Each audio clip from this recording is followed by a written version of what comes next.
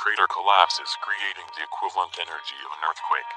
Hawaii's Mount Kilauea volcano has reached a new level in its destruction of Big Island as the summit crater collapsed, generating the equivalent energy to an earthquake. The USGS reported on Monday morning the volcano's summit crater was collapsing. The energy released by the collapse event was equivalent to a magnitude 5.3 earthquake. Scientists consider an earthquake of this strength to be moderate and can damage buildings in the area.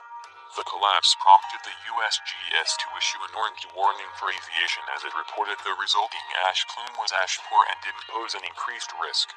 This latest dramatic turn comes as Kilauea has been erupting since May 3rd. Kilauea, Hawaii's youngest and most active volcano, has been in an active cycle since 1983, turning explosive after a magnitude 6.9 earthquake rocked the island in late April. Since then, 25 fissures have opened, pouring masses of lava across Big Island. Fissure 8 has proven the most active and continues to fountain lava 160 feet, 50 meters, into the air.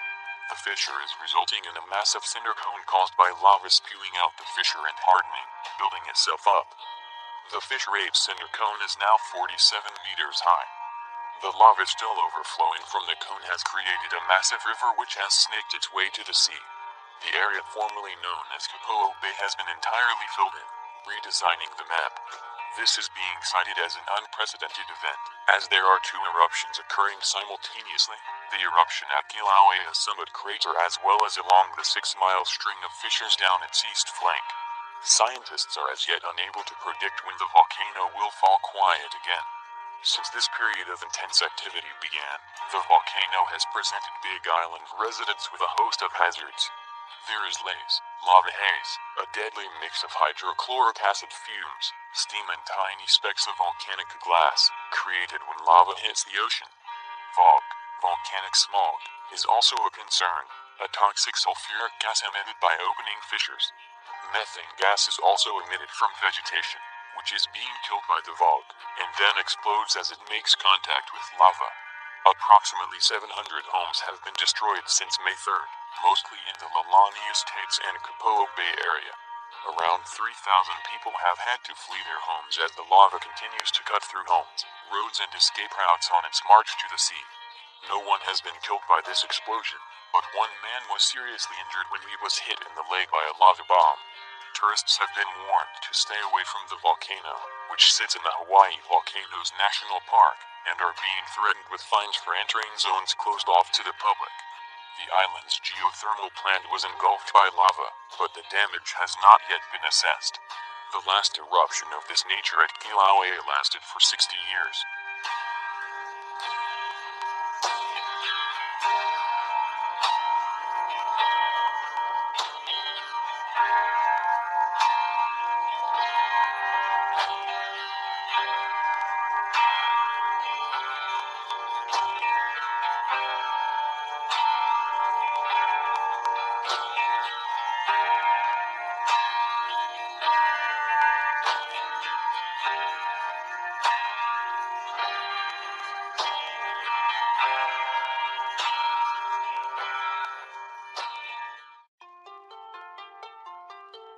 Kilauea volcano ever stop erupting? The Kilauea volcano has entered its second month of spewing lava across Big Island, but will the Hawaii volcano ever stop erupting? Thousands of people have been evacuated from their homes since the volcano erupted on May 3rd. At least 467 homes have been destroyed and more than 6,000 acres of land has been engulfed by lava, according to Hawaii Civil Defense Agency. Officials have also warned residents of laze, which occurs when lava and water combine, creating corrosive plumes of hydrochloric acid with fine volcanic particles that can irritate skin, eyes, and lungs. Cracks have now opened up close to Fisherton at the corner of Pomaikai and Malama. Toxic smoke spread over the western part of Big Island after several other fissures were formed over the weekend. Highway 190 was closed for a few hours, although the road is now open for vehicles, and officials warned locals to be cautious. Will the volcano ever stop erupting? Bill McGuire, professor of geophysical and climate hazards at UCL, believes the eruption will start to slow down over the next few weeks or months. He said, Kilauea is a volcano that is almost always erupting, and the current eruption actually started in 1983. It has only been in the news relatively recently as a result of the activity ramping up and the lava flows intruding into built-up areas.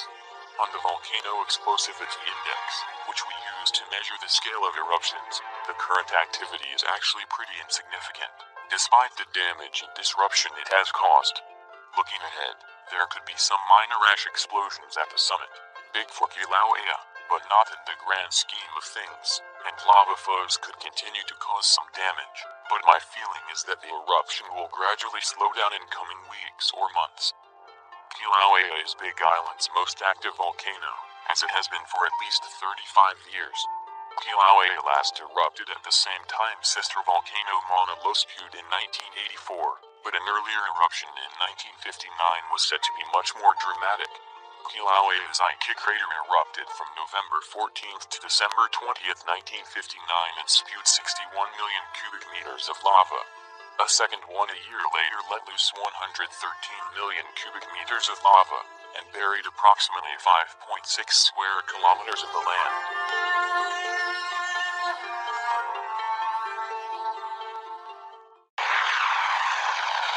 Hawaiian Volcano Observatory reports that Fissure 8 continues to erupt with a full lava channel flowing to the ocean at Kapoho.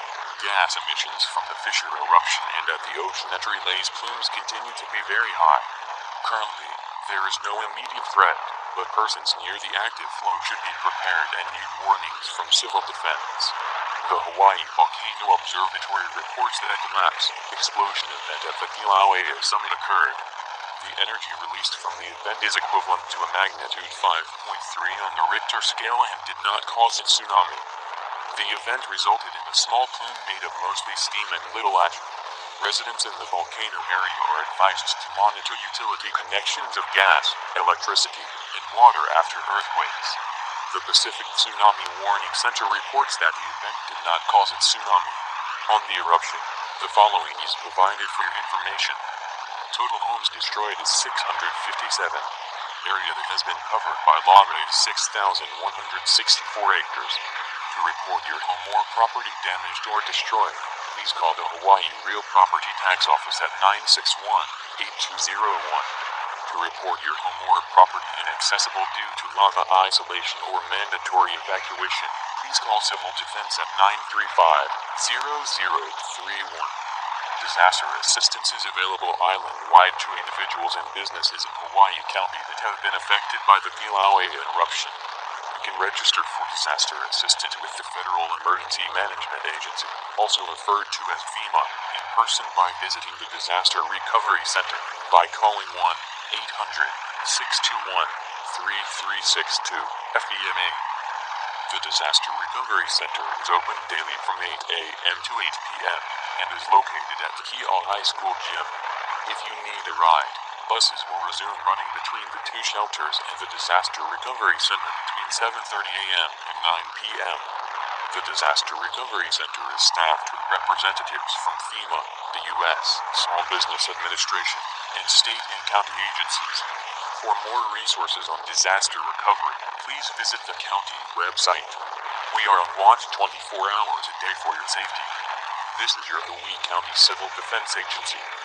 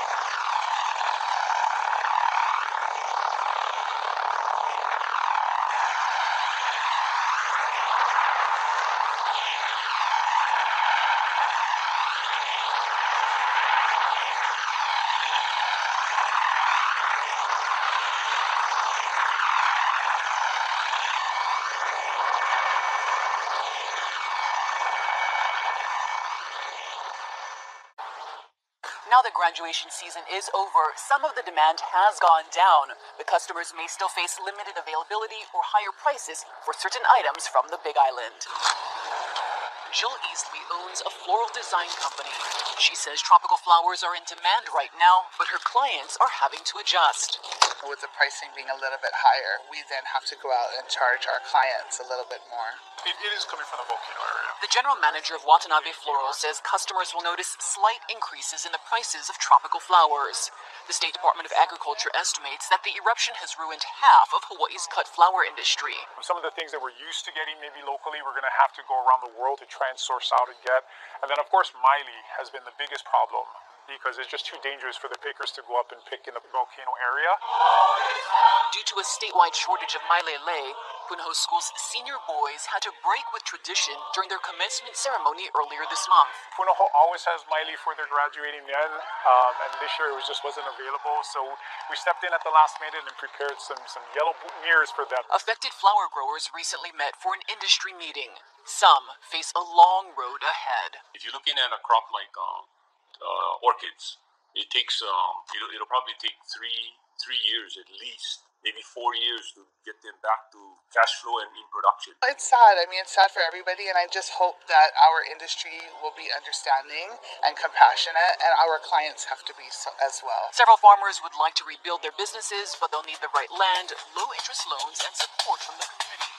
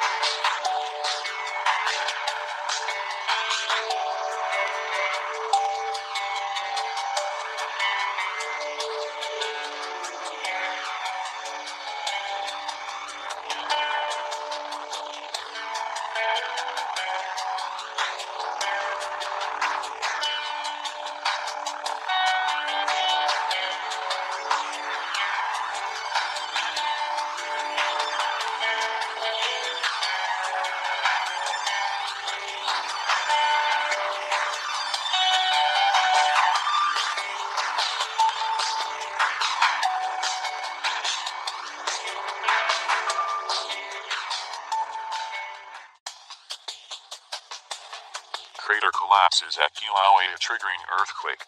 Heightened levels of activity at the summit of Hawaii's Kilauea volcano are continuing after a second crater collapsed in less than 24 hours triggered a 5.3 magnitude earthquake, the latest in a series of tremors in recent days.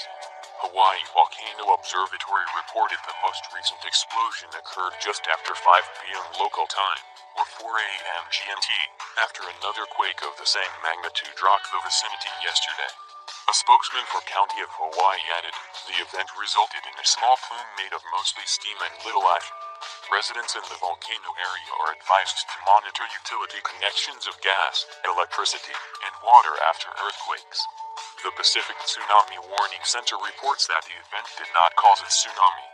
Tourists have been warned to stay away from the volcano, which sits in the currently closed Hawaii Volcanoes National Park, and are being threatened with fines for entering zones closed off to the public. Puna Geothermal Venture, the island's geothermal plant, was engulfed by lava, although the damage has yet to be assessed. Experts have admitted they have no idea when the latest phase of eruptive activity at Kilauea, which began on May 3rd, is likely to end. County of Hawaii figures suggest that 657 homes have so far been destroyed so far, including property belonging to Mayor Harry Kim and Deputy Mayor Willow Sage. Lava is now covering a covering a total of 6,164 acres. Kilauea is the most active shield volcano on the Hawaiian Islands. Even though levels of activity increased last month, it has actually been erupting continuously since 1983.